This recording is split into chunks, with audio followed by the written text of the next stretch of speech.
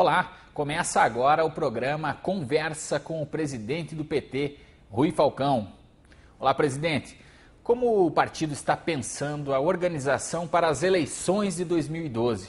Nós, que temos cerca de 560 prefeituras, que representa aproximadamente 10% das prefeituras do país, não é? Como faremos para elevar, ampliar esse modo petista de governar, presidente Rui Falcão? Nós queremos uma comissão eleitoral que já está andando pelos estados. Essa comissão está fazendo uma análise do desempenho do PT em 2008, 2010, está realizando um levantamento nas cidades com mais de 150 mil eleitores e após isso nós vamos estar definindo a nossa tática e a nossa política de alianças. Nós queremos, assim como 2010 foi tudo pela Dilma, nós queremos agora tudo pelo PT pensando em 2014 também. Neste sábado, nós estaremos em Salvador, na Bahia, reunindo todos os presidentes de diretório estadual do nosso partido, justamente para falar da conjuntura política e nos prepararmos para as eleições de 2012. Com relação à reforma política que tramita no Congresso Nacional, alguns pontos defendidos pelo PT, como o voto em lista e o financiamento público para as campanhas, são polêmicos, né? são considerados polêmicos. Como o senhor tem feito uma avaliação a respeito disso? Nós temos quatro pontos principais, sendo naturalmente a manutenção do voto obrigatório, a proporcionalidade no método de votação e a participação popular mais amplificada. Então, nós queremos financiamento público exclusivo, que é uma maneira de baratear as eleições, conter o peso do poder econômico, restringir a corrupção, se não é possível acabar de tudo.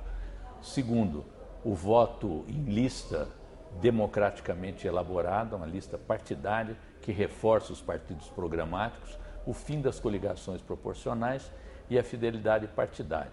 Claro que esses são os pontos que o PT defendeu no seu quarto congresso.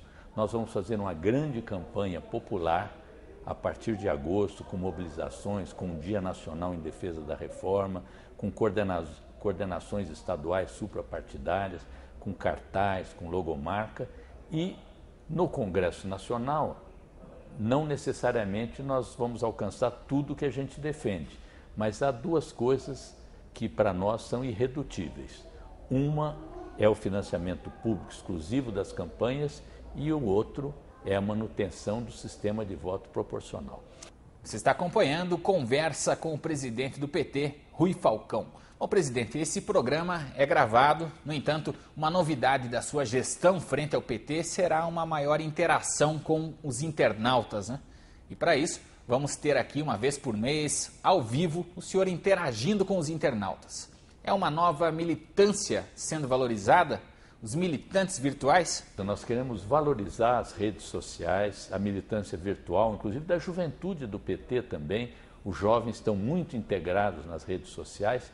Inclusive, nós tivemos a satisfação de, quando estivemos agora em Porto Velho, todo o nosso debate lá foi transmitido em tempo real. E nós temos convidado nos estados a nossa militância a transmitir os nossos eventos em tempo real também. Obrigado, presidente. Bom, encerramos aqui a primeira edição do programa Conversa com o presidente do PT, Rui Falcão. Obrigado pela entrevista e até a próxima.